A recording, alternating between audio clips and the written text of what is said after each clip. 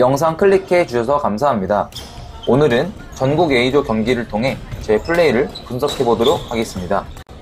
김동욱 코치님과의 훈련 중에 나왔던 포인트들을 제가 경기 중에 얼마나 잘 적용하고 있는지 나아진 부분이 있는지를 체크하면서 시청하시면 더 재밌게 영상 보실 수 있을 것 같습니다.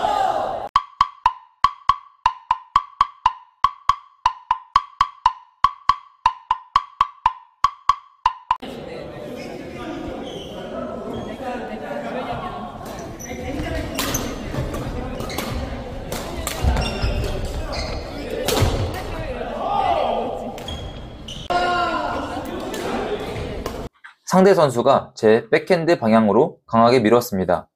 평소에는 백핸드 클리어 이후 수비로 랠리를 시작하였습니다. 하지만 동호 코치님과의 훈련 이후 중심 이동을 통한 커트와 드라이브 같은 공격적인 스트로크로 대응하였습니다. 이번에도 백핸드 방향으로 강하게 리시브가 들어왔습니다. 골반을 넣어 빠르게 움직인 이후 커트로 처리하고 공격권을 가져왔습니다.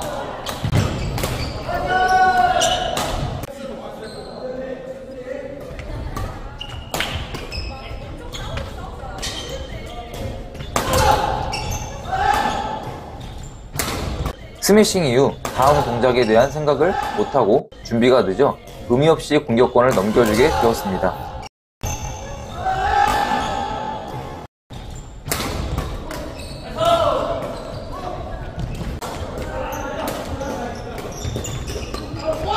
박자감은 없지만 서비스 리시브 이후 라켓을 드는 습관을 만들어 가고 있습니다.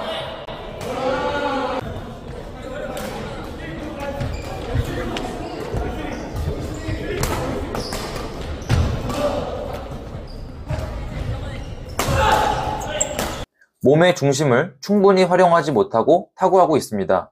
저렇게 되면 스트로크의 quality가 떨어질 수밖에 없습니다. 공쪽으로 다리가 더 가야 합니다. 파트너의 커버로 실점은 겨우 면했습니다.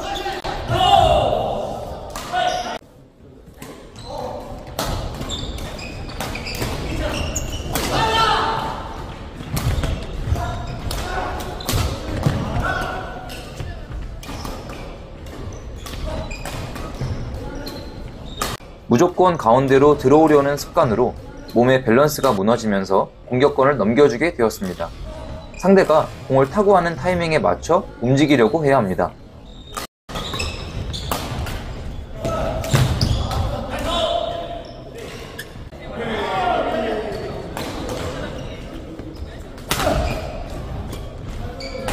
헤어핀 이후 라켓을 내리고 있습니다.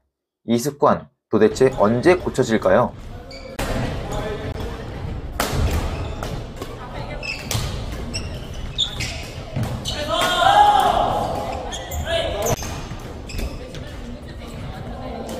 서비스 코스도 다양하게 공략해주는 것이 좋습니다.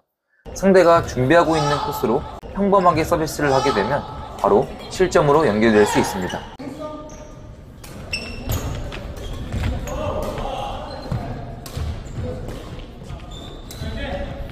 강하게 때리지 못하는 공은 일단 넘겨주고 좋게 뜬 공을 공격적으로 공략하는 것이 바람직합니다.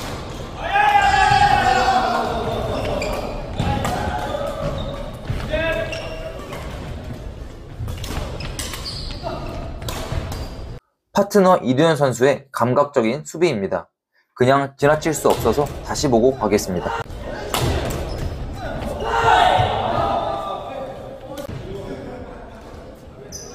앞으로 나갈 수 있게 준비가 되어야 하는데 지금과 같은 자세는 빠르게 반응할 수 없는 자세입니다. 몸을 조금만 더 앞으로 기울여야 합니다.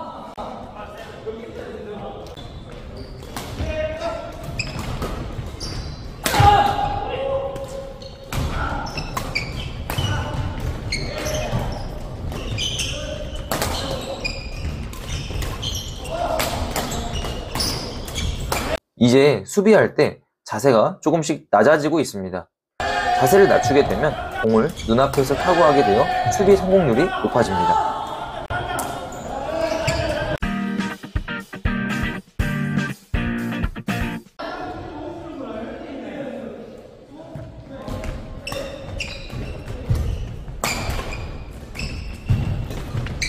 지금도 안일하게 그냥 선체로 공을 타고 하고 있습니다. 공 쪽으로 더 이동하면서 타구해야 합니다.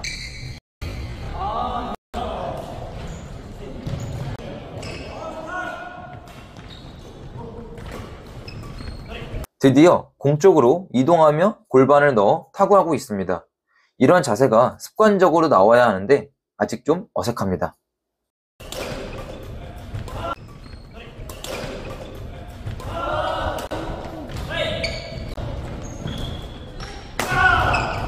지금도 다리가 더 가야 합니다.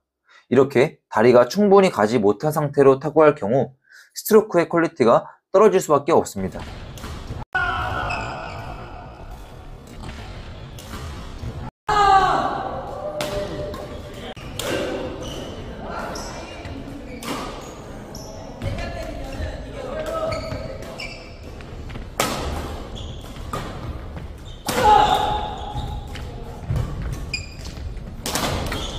파트너가 한쪽에서 드라이브를 시작하면 무리하게 전위로 들어가는 것보다 빠르게 오는 공에 대한 대비를 하는 게 좋습니다.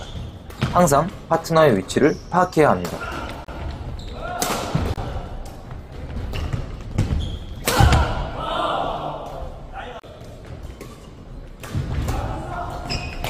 이렇게 중심이 무너지게 되면 라켓을 들기 힘듭니다. 몸의 중심을 이용하되 몸의 밸런스를 계속 유지해야 합니다.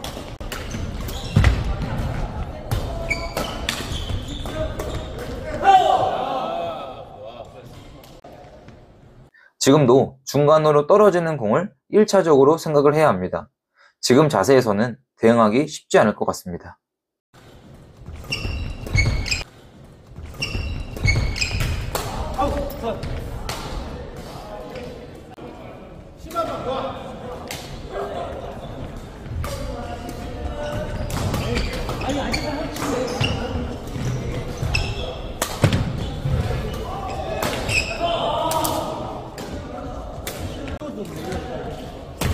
이것으로 분석 영상을 마치겠습니다. 같이 경기를 해주신 분들, 시청해주신 분들께 감사드립니다.